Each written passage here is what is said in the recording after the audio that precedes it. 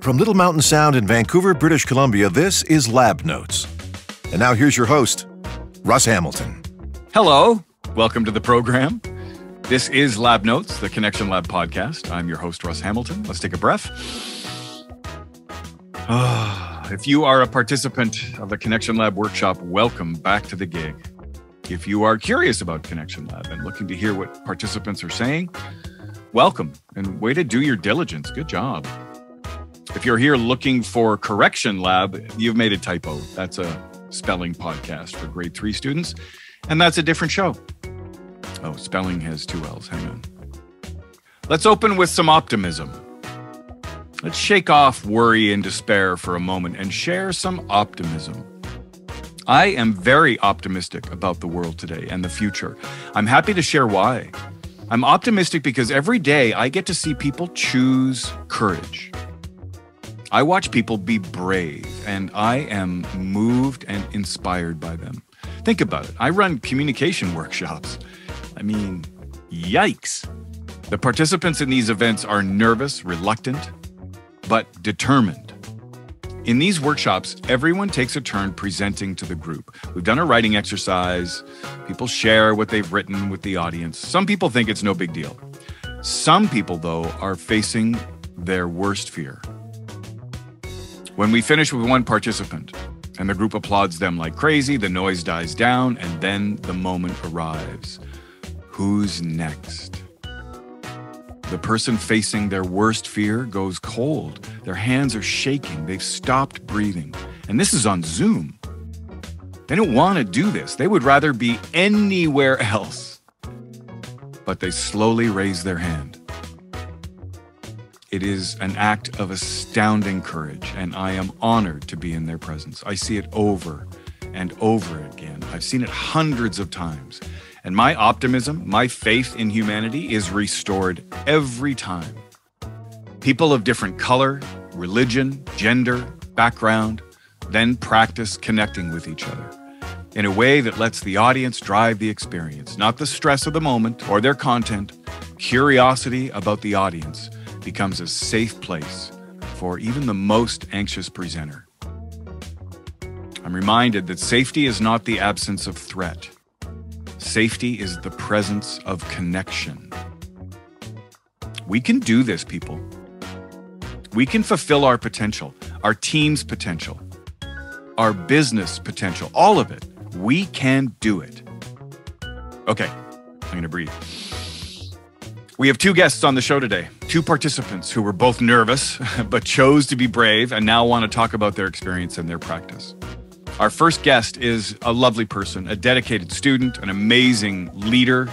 He's a dad, he's a partner, a horse lover. He's also the CEO of Mechanism Venture Capital, a very passionate and unique venture capital group, which we will get into in a moment. But please welcome to the program, Breanden Beneschott.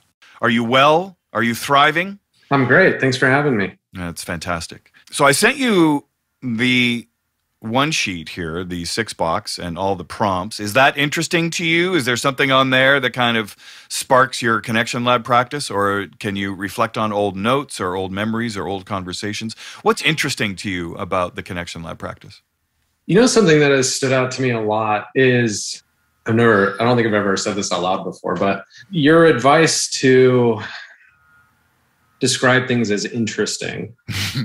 and I think for the for the longest time, I thought that interesting was almost like a garbage word. Like you're not really saying anything. But in some ways, that's almost like the point. it's it's interesting. Like when instead I usually like would jump to that's bad or good or something that was almost stressful. Um, and then instead realizing that it's a tool to sort of channels stress or tame stress, uh, sort of between, I don't know, stimulus and response, you have choice. And just by saying, isn't that interesting? Not only are you kind of going from, I think it's right brain to left brain and kind of naming as taming. And for, for me, who kind of, I think I'm starting to realize that I run on anxiety in a lot of ways. Just being able to say something like is interesting at first gives me the second to kind of like breathe, not be judgmental, sort of process, like choose how I want to respond, like choose how do I want to show up under under stress and really almost like I started to think of it as almost like meditation on demand, mm-hmm. where meditation to me is being is practice being effortless or non-reactive. And when you close your eyes and you meditate and you have thoughts, it's don't react to them. It's oh, there's that thought. Interesting. And there it goes. And I don't know. I found that to be one of my favorite takeaways from, from all of this. And you, every time we interact, a dozen, maybe multiple dozens of times uh, when I'm talking about things and that are wrapped up in you know some judgment of like this is inherently bad or not, or even just sharing sort of my how I'm processing things. And your reaction is so often deep breath and isn't that interesting? And I take so much comfort in that. It's like, yes, it is. That's not a garbage word. This is a this is a wonderful tool, um, at least for me, where under constant stress and definitely care about how I how I show up under stress and I'm trying to get better at that. And to me, that's been one of the most profound things here. And realizing that it's almost this, like I said before, meditation on demand. Like, what a cool concept! Because it doesn't have to be just when when we're speaking. You say, "Isn't that interesting?" It's like you have a million things going on in your head at all times, and they're often stressful if you're you're me. And that extra step of giving yourself permission to say, isn't that interesting? Like, how freaking helpful. how simple.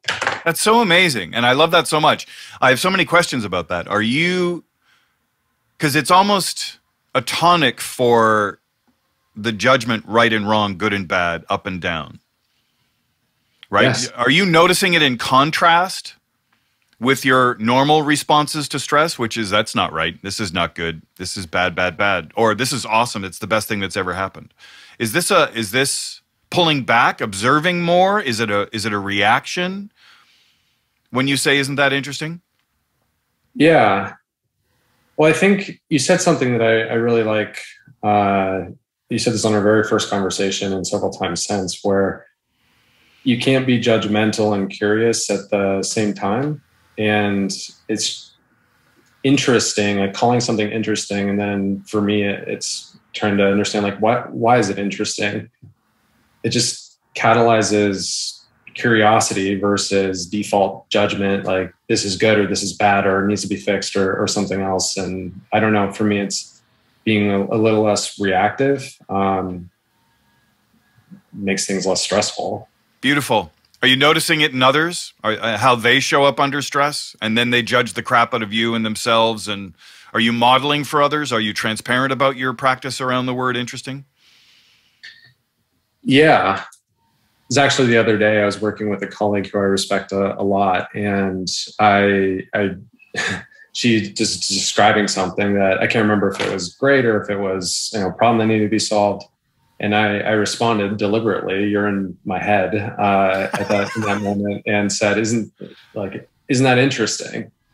And her reaction at first was uh, kind of like, uh, you know, Breanden, interesting is kind of like a garbage word, right? Like, it doesn't mean anything. and and it's funny. I've heard Tim Ferriss and some other people say the exact same thing, mm. and I, I stopped there and I I, I, told her a lot of what I just told you. Mm-hmm. Like, I totally disagree. I, I used to agree, but I found a ton of value in it. And it's not because it helps you figure out whether something's good or bad or what to do about it. Right. It's deliberately taking a pause and like meditating for a moment before you do that. And then you're just giving yourself this foundation to to choose how you want to show up under stress or how you want to react to this if you even do need to react to it. Right. And which I think oftentimes you don't. But if you're type A and kind of go getter, then your default is I'm supposed to have the answer at all times. And if I don't, that's stressful and I need to react and I need to solve problems. And it's just not always the case, I guess. The phrase with interesting is almost an answer unto itself. In a way, it is a judgment. It is because you're saying, oh, it's not less than interesting, it's interesting and it can yeah, be its own answer, right? Yeah. And that it might not be the answer that somebody was expecting or hoping for because they want a transactional response here. But the fact that it's interesting means it has a gravity to it. Oh, if it's interesting, like legitimately interesting, then I get to look at it closer.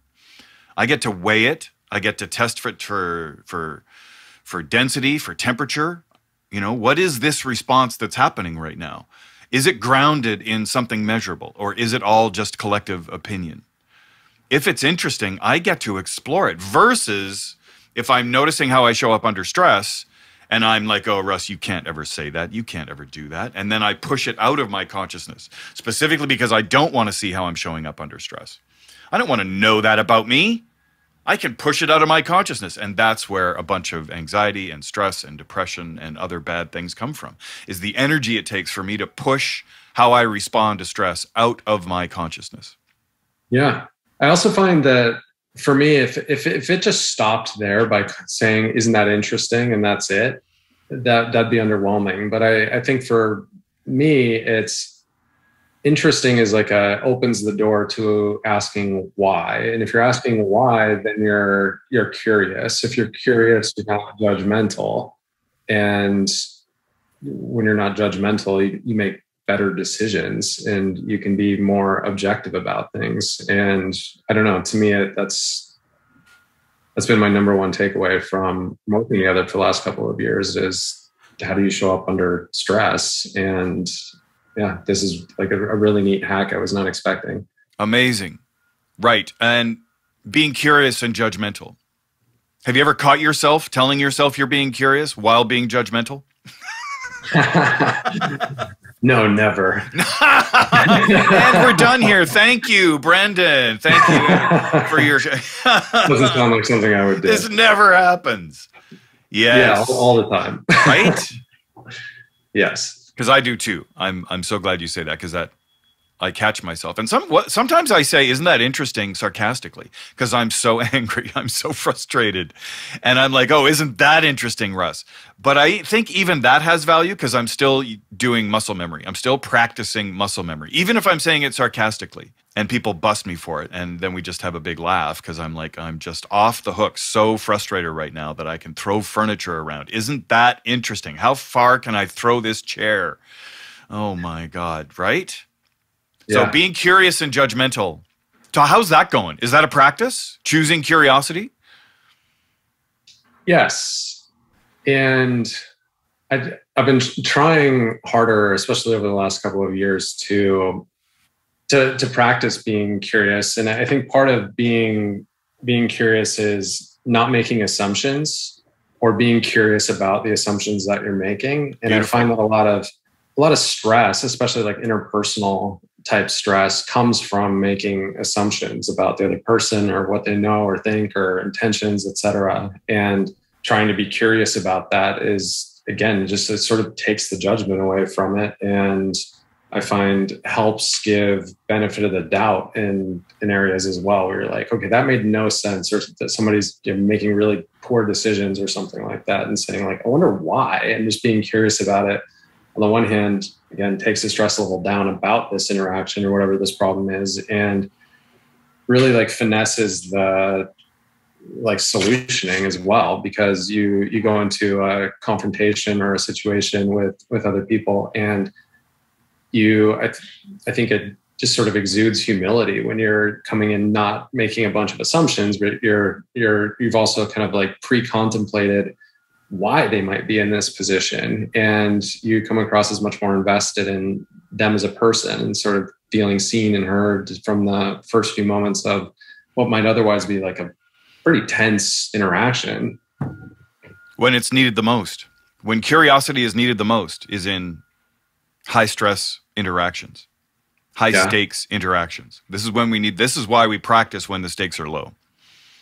Practice yeah. being curious and using the phrase when the stakes are low. That way I get some muscle memory. And that way, when I'm in a situation where the stakes are higher or much higher, my body has a memory of going, oh, do I want to be curious here or judgmental? Am I, you know, is this an interesting situation or is something else going on? If you're scrolling or just joining us, we are talking to Breanden Beneschott, the CEO of Mechanism Venture Capital. And what I wrote down as you were saying that is Am I open to new information? Right?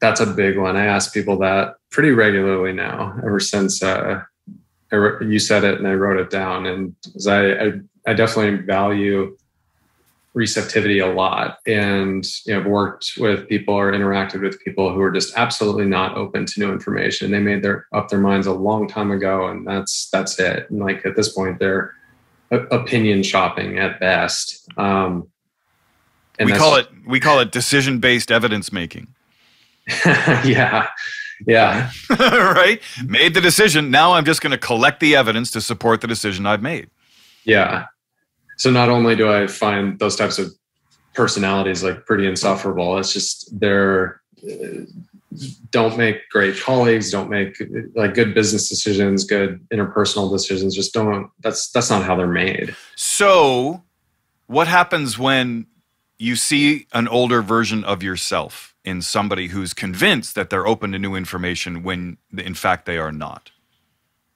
An older version of myself. What do you mean? Was there a version of you that was convinced you were open to new information when you were not? Oh yeah.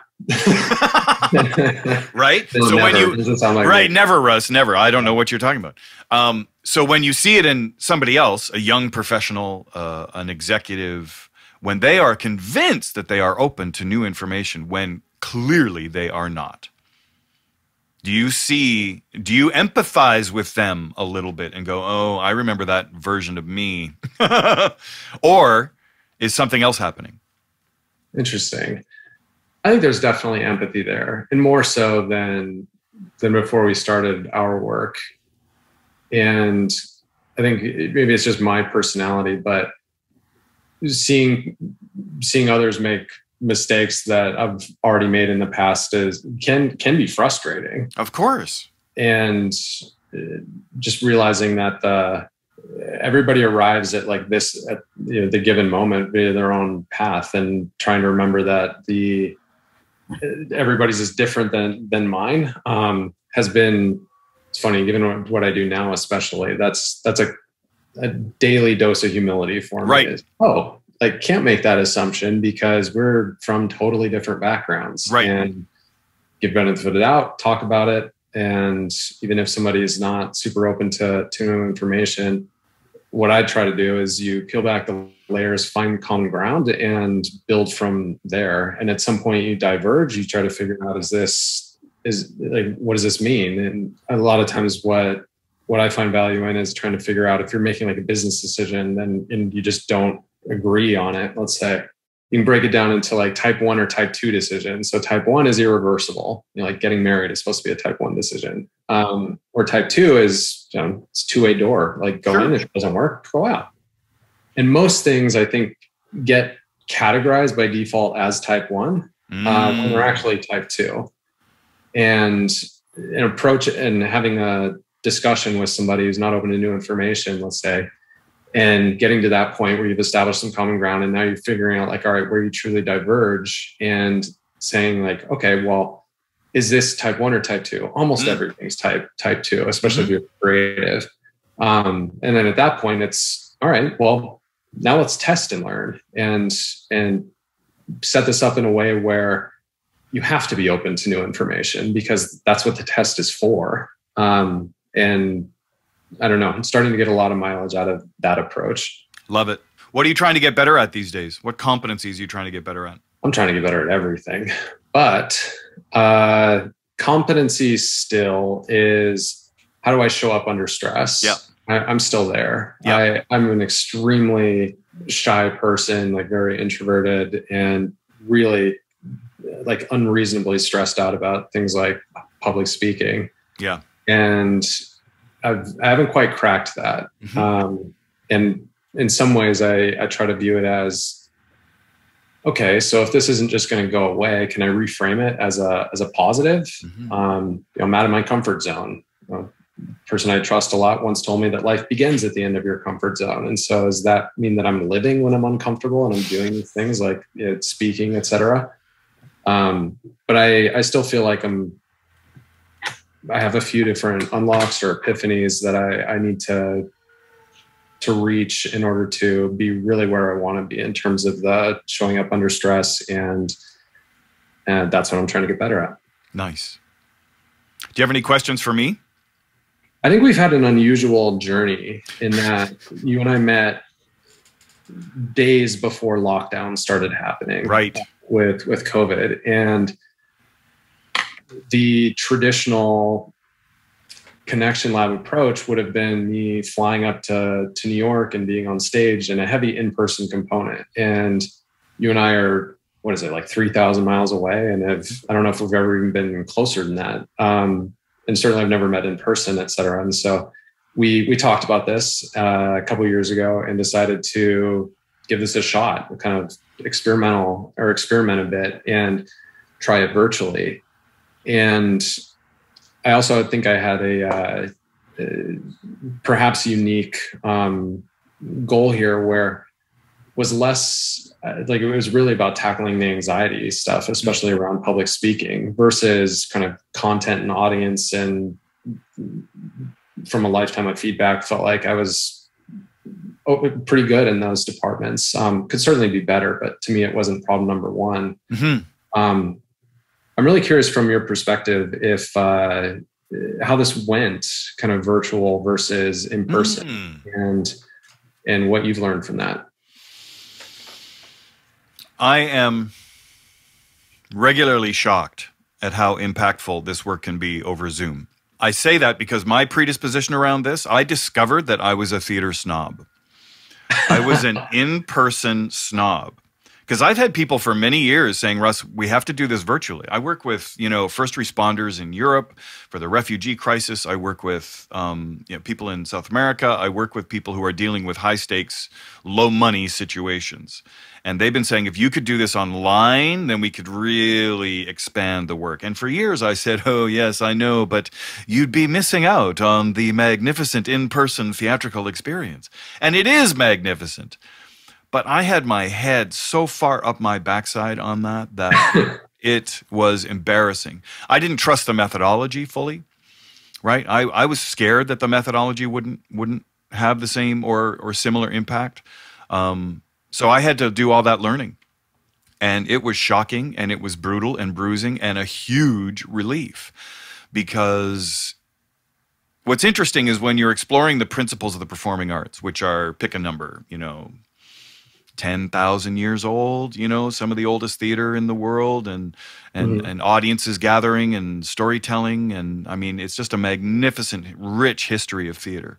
And the fact that those principles transferred fairly easily to film and then television with a camera and a microphone and quality of relationship. And we have our favorite movies and we have our favorite actors and actresses.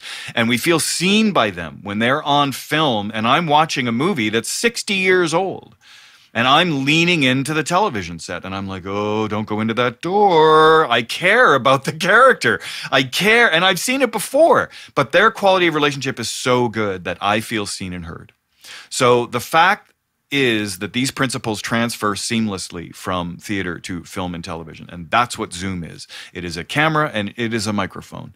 And when I state my intentions and I say, I'm being curious about somebody right now, and I say their name, and then I surrender responsibility for their experience of me. I don't decide what their experience of me is. I'm just going to be curious about them. What color their eyes? What color their eyebrows? What shapes do I see? And then that person raises their hand because they feel seen that moment of reclaiming the value of human relationship, I cannot tell you the impact of that when I saw it the first time. And you were one of the first experiments with that. And and then I lean back on the name of the company. It's a connection lab. It's a laboratory for a connection. Our entire function is to practice, explore these boundaries. Where do people feel seen and heard? Under what conditions? What are the practices? What does it mean to reclaim the value of human relationships? What does it mean to dive into the essence of collaboration and co creation?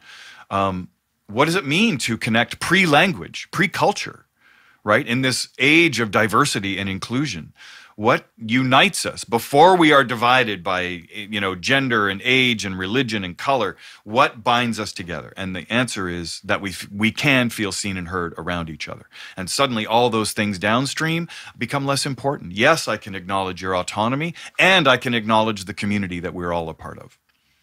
So that it is an epic transition for me. And now as I told you, as in our, you know earlier um, in our warm up conversation, in the green room, I we just finished our first in person workshop in like two years. We were down in Seattle working with this great company, and we just had a great time. And now I'm back, and we've got a bunch of online workshops, and we're graduating a bunch of new facilitators. Um, they're getting certified, and yeah, so business is booming, and it couldn't be better. And the fact that we can transmit and transform this to an online experience is extremely valuable. So thank you for being in our, our, our laboratory for that and participating. And I'm glad to see and continue to hope that it will be of benefit. What a wonderful answer. Mm-hmm. I hadn't thought about that from 10,000 years of in-person theater. Yeah. Yeah. Well, and I studied theater history, so I know all these amazing plays and the study of the human condition from South America and China and Africa and India, how they've been exploring the human condition for thousands of years through theater. And these are great plays, great pieces of theater. And then now we have Zoom. And can we transform? Can we practice these great you know practices of connection and being curious instead of judgmental and invitation and offer instead of trying to control my audience's experience of me? And having none of that you know infringe upon my authority whatever it might be in the business.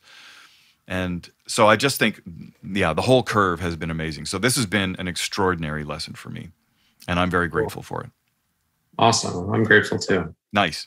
One last question are you going to listen to this podcast are you going to listen to your own conversation with me yeah, I am. Totally. Nice. Fantastic. Breanden, you rock. You're very generous. Thank you for joining me in this. Thank you for participating. Uh, I look forward to our next conversation and go out there and crush it, man. Me too. Thank you so much. Excellent. That was Breanden Beneschott, the CEO of Mechanism Venture Capital. If you want to find out more about what makes Mechanism such a unique venture capital group, go to www.mechanism.com.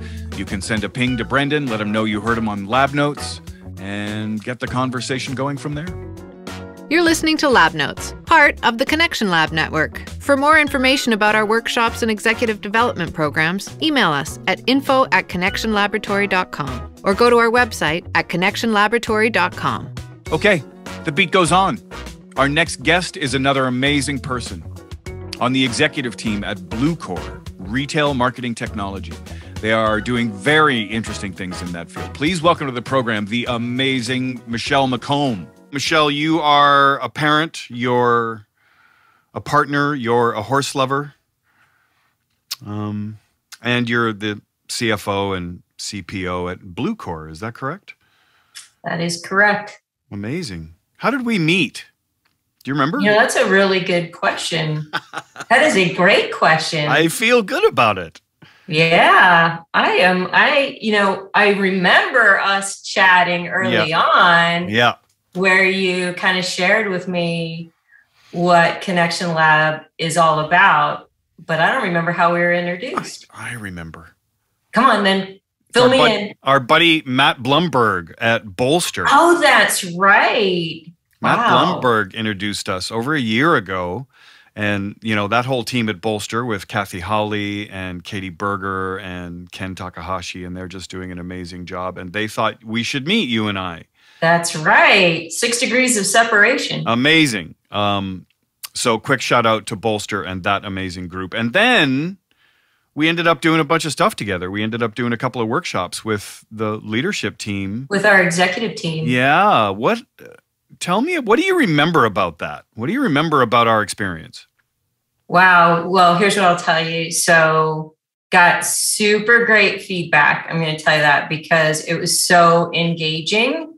Uh, so, if you kind of do a little walk back on memory lane, because it was a like a year into my joining of Blue Bluecore, I had picked up responsibility for the people team.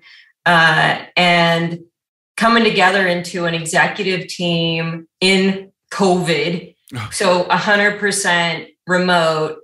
The rest of the executive team had been um, together before pre COVID, so it interacted together. I was the newbie and the remote one. And so, um, really found it as an opportunity for all of us to engage in something meaningful uh, that we could then uh, come together in a more uh, you know like remote way and improve some skills. And then i could also selfishly get to know my executive team better. Nice. So that's lovely. I love that that's what you were in service of um, to introduce this work. And honestly you know brave and optimistic because even though we had a lovely chat about it you didn't know certainly they didn't know what they were getting into. Um, no. so, yeah. you got to kind of put yourself out there, don't you, in these workshops? It's so true. Um, so we did two workshops. We did module one, we did module two. What do you remember about module one? And it's okay if the answer is nothing, Russ. Believe it or not, I do remember. So it was kind of setting up how traditionally you get very connected to your content, mm.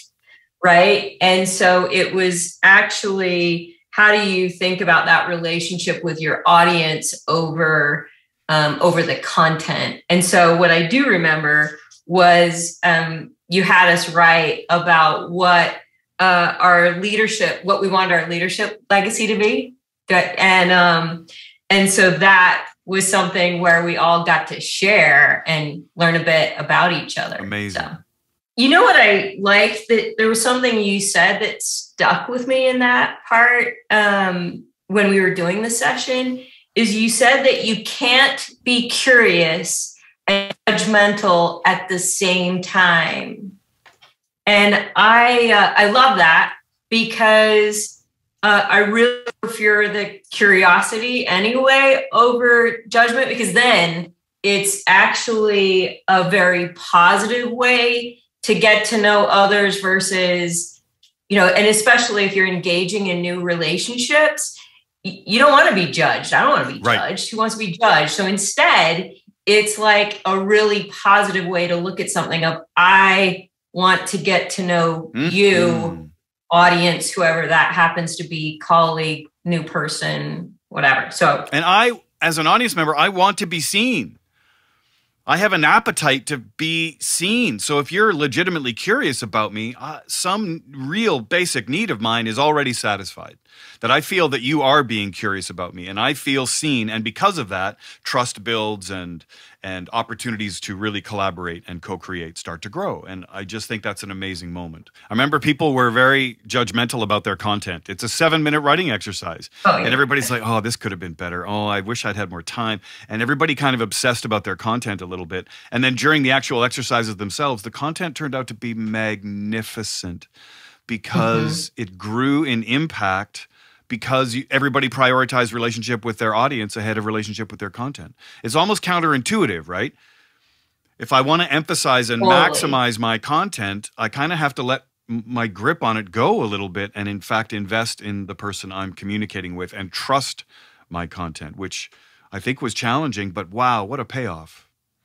If I recall correctly, because you know, it's been a year, yeah. there's a lot of information going through my head yeah. in a year. But if I remember correctly, we did it once, right? Where we read our content. And then the second time we did it where we were, we did the like, be curious, look into our audience, pick someone, like not pay as much attention to the content, but pay more attention to like when we were looking into the audience, people would put their hand up if they felt like they were being seen. Right and they then also paid more attention like to what you were saying. And then we did a couple of uh, maybe a month later module two we did. Demand and call to action. What do you remember about that one? Yeah. No i love that one actually. Um, because it was around uh, again um, if i'm right like there were games that we played too like linger longer. Is that one that's of them? one of linger them. Longer. yep permission to begin. Yep. Um, there was there's some others too, but what I remember was all around finding the action right. verbs and like pick a favorite word. That that's that's right. Like, that was actually in module yeah. one, but that's the audience gets to pick their favorite word from what the presenter says, repeat it back to them, and then the presenter waits to hear what word it is, and then repeats it back to them, and oh, just everybody right and heard. Yeah, but I if I'm it was uh that I think though was collecting your action right. verbs. so that you could when you're engaging with whomever your audience was was to understand the call to action right. that was i thought that was huge because when you're communicating to let's just say a broader audience uh, i i use this in particular working when we did town halls with our with our company was are we just sharing information or is there something that we want them to do? Um, and so i spent time looking as what is figuring trying to figure out when we were doing our presentations what are we asking of our audience? Amazing. how are we bringing them into the conversation? Amazing. Uh, what scene did you do? Do you remember? I remember it was the billboards. Right. The catch him. Remember? Catch him. Yeah find um, him find him uh, let me do my right. job you know find him right yeah that's what i remember right because that's yeah. a scene where you know the what's her name oh i forget the character's name but her daughter was killed in the movie and the cops weren't uh-huh. finding them and it's like you know and he just wants you to take down the billboards yeah, and he's like, "Come on, you're causing a lot of noise." Oh, and you you and like, hole. I'm doing stuff. The yeah, dentist like, thumb. right? Well, that wasn't me. Is that what he said? That wasn't me. Oh my yeah. goodness. But his call to action was let it go for your own health, for the good of the town, for the memory of your yeah. daughter, let it go. And your call to action and, was find him. I'll take care of the rest. All you need to do is find him. Find him. And this was let me do my job. Right. and the tension in that scene was so good. Everybody became such good actors because the quality of relationship was so good between the actors. Does your partner feel seen and heard? Right? So all of a sudden, call to action and demand only become available as tools when your audience feels seen and heard.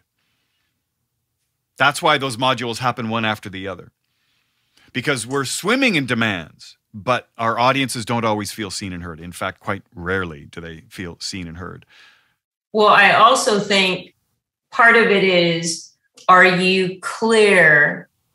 Because in some of the role plays, whatever, you could get very good clarity in what that call to action is, right? And so you could check it against are you being clear? Do you know your call to action or are you beating around the bush? Are you being vague? You know, and therefore that's the message you're sending out to your audience, right? Which is, I don't know what I'm asking you. Exactly. If you're just joining us or scrolling around a bit, we are talking to Michelle McComb, the Chief Financial Officer and Chief People Officer at Bluecore Retail Marketing Technology. Welcome back. Thanks. You too. Thanks. Glad so, to be here. Yeah. So, right. When I'm giving a presentation, am I clear on what I want the audience to do?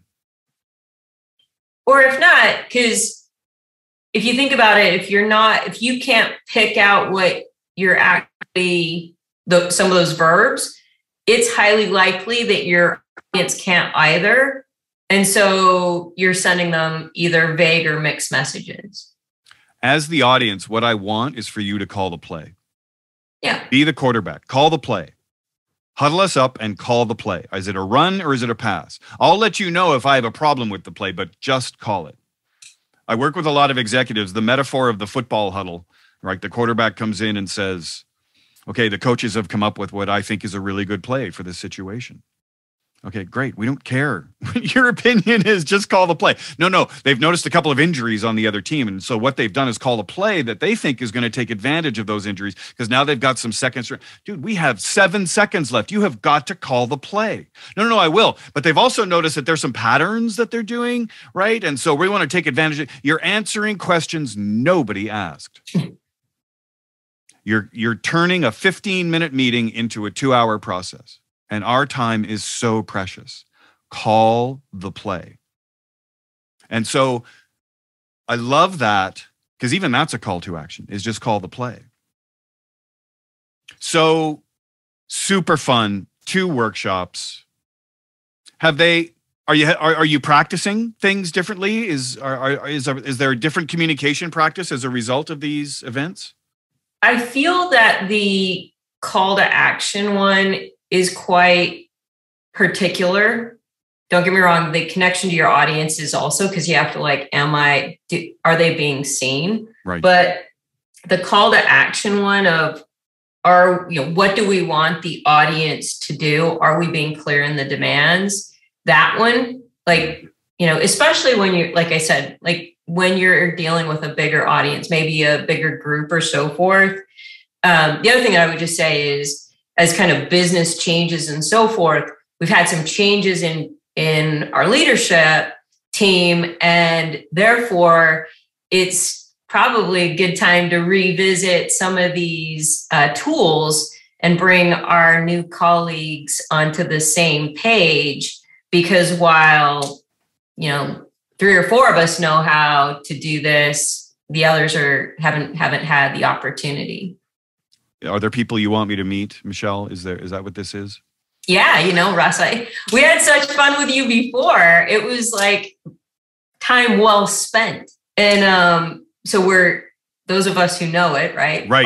Buys, myself, Shireen. Right. But I think it's actually good to get the rest of the the team on the same page because um, some of these tools are super helpful yeah. in making sure we're communicating effectively. It's funny. I did even write down your isn't that interesting from that conversation with you.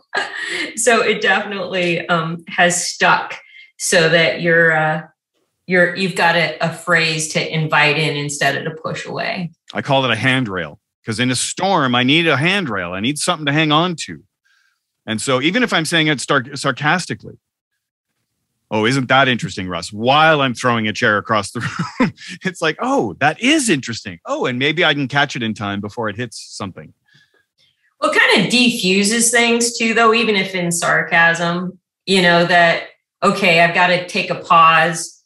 You know, it's kind of like that that phrase that stops everything yep. from, you know, stops the chair from being thrown because right. it's like let's take a pause. It, it creates an opportunity for me to choose in that moment. As satisfying as it would be to throw a chair right now, is that a reflection of the values that I claim matter to me the most?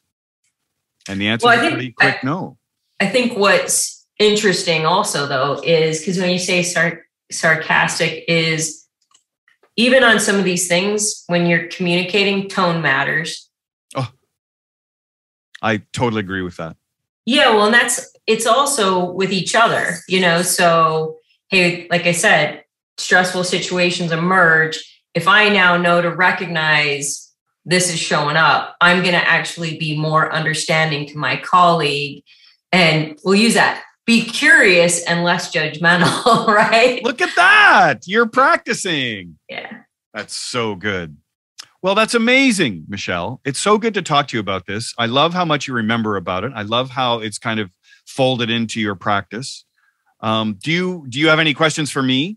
Okay, so I mentioned that we did the the group, the executive team with you a year ago.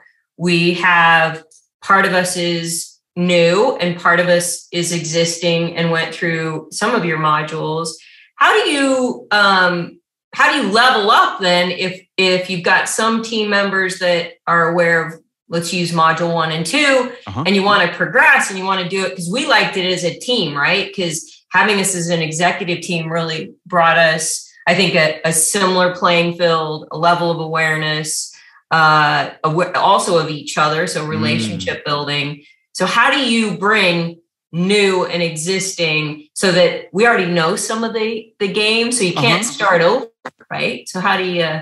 So, I would say you, two ways. Yeah. One is I would encourage you to be coaches. I would okay. encourage you to be transparent about your practice and and talk about the games you played and talk about prioritizing relationship with the audience and then modeling it as much as possible. So I would offer you some coaching and the team that has done it on how to do that and how to be mm. transparent. Mm-hmm. So you can embed your work content into does the audience feel seen and heard? And this game we played about raising our hand when we felt seen and giving each other real time feedback, we can actually embed in some of the lighter meetings, we can embed those exercises in there. And people can become coaches of this work. Um, what you want to do is meet people where they are, though. You want to make sure that this, what I'm offering, is what they want to get better at. So mm-hmm. it actually becomes part of the onboarding process is yep. is work like this. So that's part one. Is I would say people who've gone through it, I would encourage them to be transparent about their practice, and that way they coach others.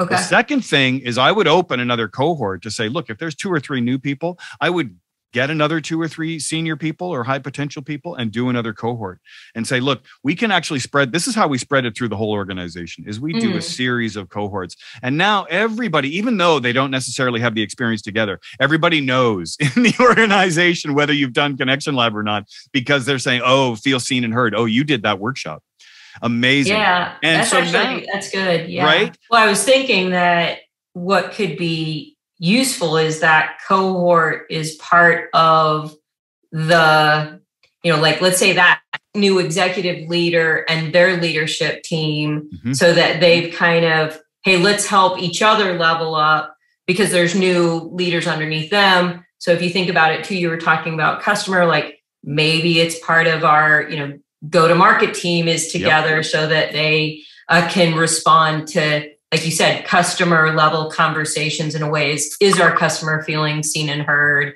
um, and use those tools in those ways. So Yep. i actually see an opportunity there. Yeah me too. Amazing. One last question. Go. Are you going to listen to this podcast and listen to this interview? Um, i'm going to say yes because i want to hear it back however i will tell you this i do not love hearing my own voice I think you're going to like this. I think you're going to enjoy listening to this because this well, was you- i'm awesome. always entertained talking to you so. Well, right back at you, my friend. This is amazing. It's so good to see you. I really appreciate you taking the time to do this. And hey, let's book another chat and talk about, you know, bringing more Connection Lab to more people at Blue Bluecore. I would like that. And it, it was great catching up. And I look forward to catching up and seeing how we can uh, work together in the future because I had such fun before. That was Michelle McComb, the CFO and CPO at Bluecore. If you have any questions about the leading edge of retail marketing technology at Bluecore, go to their website, www.bluecore.com.